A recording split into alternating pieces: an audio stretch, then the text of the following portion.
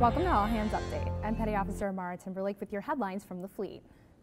With the current fiscal uncertainty, Defense Secretary Chuck Hagel recently announced all Department of Defense headquarters will make a 20% reduction in total spending over the next five years, regardless of any future budgets approved by Congress.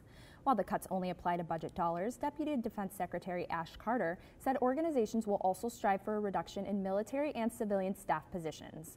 To read the full statements on the cuts, visit defense.gov. Hagel also congratulated General Martin Dempsey and Admiral James Winnefeld on their Senate confirmation for a second term as chairman and vice chairman of the Joint Chiefs of Staff, respectively.